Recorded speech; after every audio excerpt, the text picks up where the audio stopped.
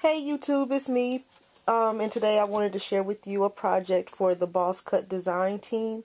Actually, I have a couple of projects um, for them. Some of them I did not do a video on before I gave them away. And then some of them I, I did do. So without further ado, here we go. And I'm just going to move this out the way.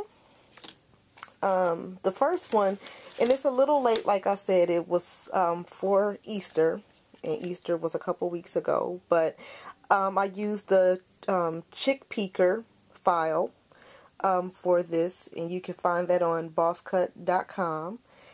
You do not have to have a gazelle to use some of our files. You can use other cutters because of the different formats they come in. So this is the chick the chick peeker and all I did was just use it as a layer and use the wings um, as a holder for the chalk and then I got the the shape out of the software and then I used some chalkboard paper by DCWV so this was a, a, project that I did with my girls, um, and it was really cold that day. So that was that was something to keep us occupied for a while. So again, I will have um, the link on my blog for her. Isn't she adorable? Alright, and then my next project that I want to share is this one. And I, there's a lot of cuts on this one. There's the lattice egg cut the lily cut, um, the dove cut, and the cross. So this is the front of the card, and like I said, this is the lattice egg cut, and I just took four different parts um, and welded them together to make the card.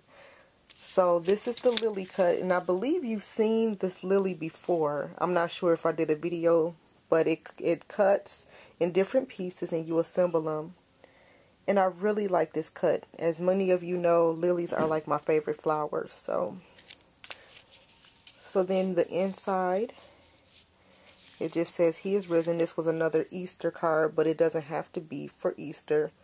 And then this is the dove cut, and I put some flocking um, on it and added a pearl for the eyes. And then the blue is just some broken china distress ink.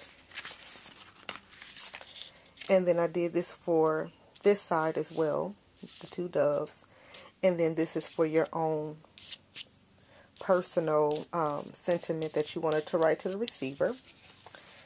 And then this is the back of the card. So actually it's supposed to go this way. So when you open it, you were supposed to see the cross because again this was an Easter card and this is the simple cross cut and then this is the PK um, um, grass cut that BossKut sells. And again, you don't have to have a Gazelle to use most of our files. Um, the newer files actually have um, an AI extension so you can cut it in your in your um, using make the cut. So you know if you use a silhouette or um, a black cat cougar or whatever other type of cutters you you may have you can definitely use some of our BossKut files. Okay? And then for the next one that I'm going to share yep I think this is it.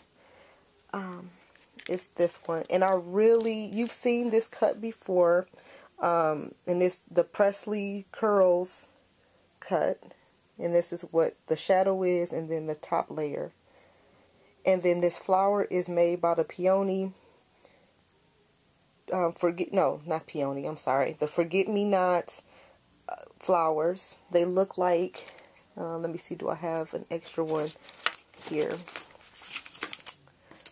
this is one that I cut off but this is what it looks like. This is the forget me not and I just made it into a rose. So this big rose is the forget me not and then I used the Presley Curls um, shadow and then the top layer as the shape card. The middle portion I just embossed with the Musical Flourish embossing, floor, uh, embossing folder. The butterfly was cut using the um, Martha Stewart, the large Martha Stewart um, two-in-one punch. And the little green part here is from uh, Spellbinders um, what is it, uh, foliage die. And we actually do sell foil, well, we have a file for it, but I had shut my machine and stuff off before I got a chance to cut it. So I just used this. But I really like the way it turned out. I didn't do anything um, to the inside yet. But this could be used for a Mother's Day card or um, a card for encouragement.